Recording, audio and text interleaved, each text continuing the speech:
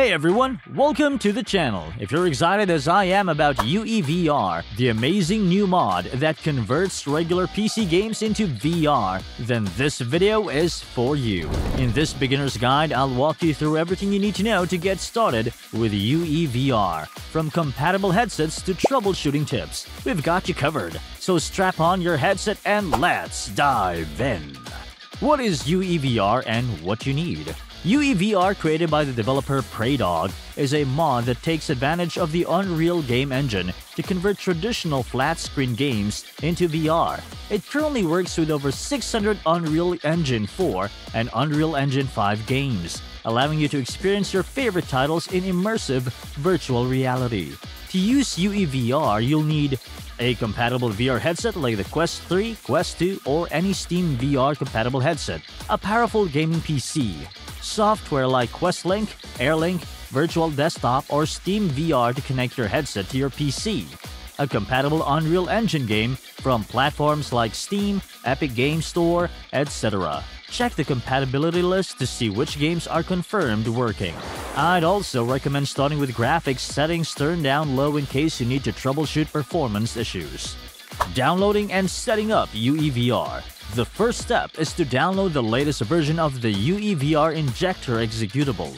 This can be found on the official UEVR GitHub page under the Releases section. Download the zip folder, extract it somewhere easy to access on your PC, like your desktop or Documents folder, and take note of the file path. Before attempting to run the injector, you may receive a warning from your antivirus or Windows Defender about an unrecognized program this is because the injector edits game memory in real time, which can seem suspicious. To allow access, you'll need to explicitly exclude the UEVR folder in your antivirus software. I definitely recommend verifying UEVR is safe by checking community feedback before running unknown software though. With those preparations complete, launch your chosen compatible Unreal Engine game through Steam, Epic Game Store, etc. Once you've reached the main menu, Alt plus Tab over to your UEVR Injector app. In the drop-down menu, find and select the currently running game's process. Next, choose whether you want to use OpenXR or OpenVR as your VR runtime. OpenXR generally offers better performance for newer GPUs, while OpenVR maintains broader hardware compatibility.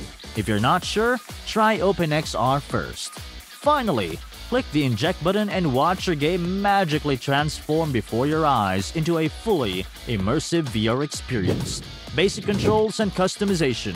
Once successfully injected, UEVR features an extensive in-game overlay menu, accessible by pressing the Insert key.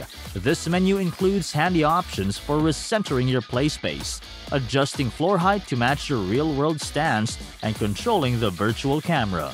While most games will automatically work with gamepads without issue, the level of motion controller support varies. Some titles allow limited hand presence using touch controllers, but most will require playing with an Xbox or PlayStation gamepad. Expect to tweak control schemes significantly on a per-game basis. One incredibly useful customization is the ability to save multiple preset camera positions. This means you can customize unique views for both first and third person perspectives. With a button press, you can then switch between them on the fly without realigning everything repeatedly. Overall, UEVR's default out-of-box configurations convert games surprisingly well to basic VR functionality.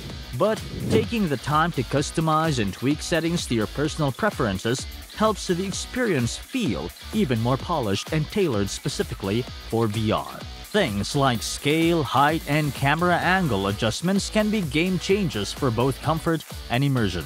Troubleshooting common issues. Of course, with mods as complex as UEVR, some troubleshooting is to be expected. Here are some common issues and their solutions.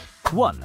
Graphics only displaying in one eye. Switch rendering method to synchronized sequential. 2. Characters appear too small or distant. Adjust camera forward-backward slider. 3. HUD Elements Block View Fine-tune world scale settings 4. Game crashes on launch Lower in-game graphics settings significantly As you can see, much of it comes down to adjusting performance impacting graphics settings. Don't be afraid to really rack it down quality for playability.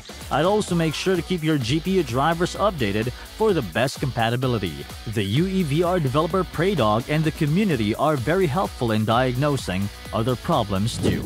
Experience your favorite games in VR. And that sums up this UEVR beginner's guide. With hundreds of supported titles, it opens up exciting new worlds to explore in VR. I definitely recommend starting with some less graphically intense games as you get the hang of modding and customizing the experience to your liking. Have you tried UEVR yet? What games are you most excited to jump into? Let me know in the comments. If you found this tutorial helpful, please like and subscribe for more VR content. Thanks for watching, and happy gaming!